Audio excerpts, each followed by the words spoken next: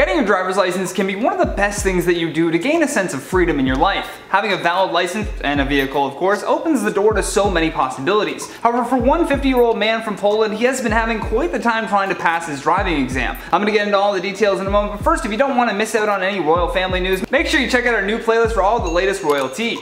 And with that out of the way, let's just dive right into today's video.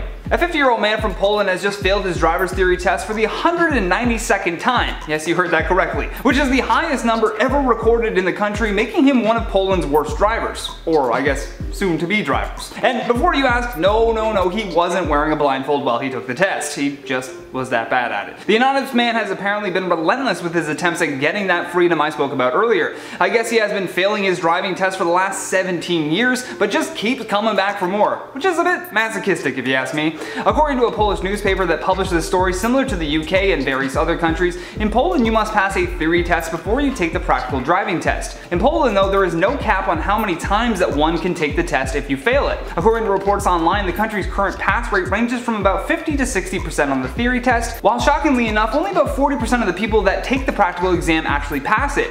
The worst part about this man taking the test so many times isn't just the fact that he has never gotten his license, but rather that he has wasted hours upon hours of his life for this. Taking these tests can mean taking hours out of your day, plus he has had to pay over $1,500 US, converted from Polish currency, for the multiple attempts. Most people, including those in Poland, will pass their test on the second or third time, as noted by the media site Notes from Poland. What's wild is that this man holds the most amount of failed attempts by a mile. The only other person in the country that has failed on numerous occasions has still only failed about 40 times, which means that they're probably never going to pass his 192 attempts anytime soon. However, this man can take solace in being a bad driver because there is another man in the UK who finally passed his test after taking it, I'm not kidding, 157 times. Which means that there's probably still hope out there even if he's well past that lucky 158th time. Oddly enough though, Poland did report a higher percentage of driving test pass rates in 2020. Even so, this case has certainly raised concerns over the number of attempts that a candidate should be allowed to make.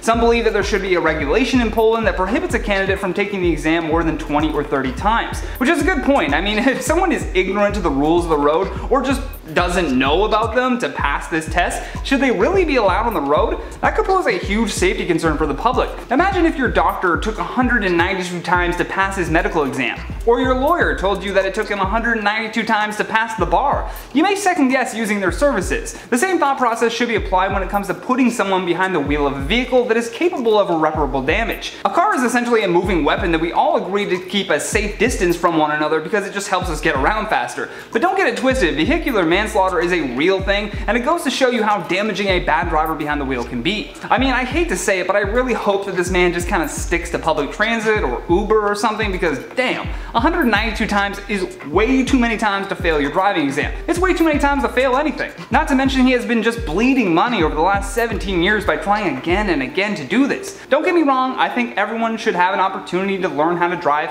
but come on, what are your thoughts on this? And while you ponder that, I'm going to check out some of your comments from the video titled Police Find Deceased Woman in House After 12 Years Because of This. Seal Brierly says, This is sad, but I think the husband may have mental health problems. It certainly is that, or perhaps just denial. You know, it's, it's, very hard to say, and I don't want to speculate on anyone's mental health. Mother of Cat says, happened about 20 minutes away from me. Sad part is, this is Aberdeen for you. Stuff like this happens all the time. That is very sad, and I saw multiple comments saying that about Aberdeen. You guys need to come together as a community a little more, maybe. Check on your neighbors. Bring them a pie or something, I don't know. Aaliyah Madison says, like someone already mentioned in the comments, he may not have reported her dead so that he could continue to collect any benefits she may have had. This is a very good point, but again, I don't want to, um, you know, add any details that I don't have. That's that's your opinion. Shelby Clark says, I'm so confused. How can you have an appointment for the vaccine if you've been dead longer than the pandemic? Appointments have to be confirmed. What I'm guessing happened is that they looked at a registered voters list and selected those over a certain age to get the vaccine. So the husband may have confirmed an appointment for his wife and then when she didn't show up, they got worried. That's just my guess. Fluffy Pink Chaos says, I'm concerned about the husband's mental state. He needs to be looked at too and maybe have a psychiatrist assigned to him. Again, I'm hoping that his family does something like this because if it is a mental health problem, that definitely needs to be addressed. Introverts Rock says, reminds me of a CSI episode where husband dies but told wife to hide his body so she can still receive his benefits, support her beyond the grave.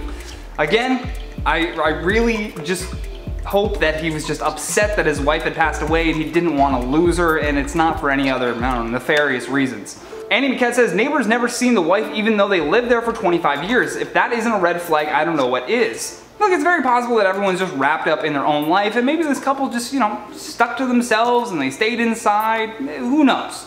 But either way, that has been today's video, guys. Thank you so much for watching. I've been your host, Johnny Rogers, and until next time, stay classy, YouTube. Royal Family News, make sure you check out our new playlist for all that. Gonna do that again. Make sure you check out our new playlist for all the late. wow, we're off to a rolling start. Can you tell us the end of the day? One more time.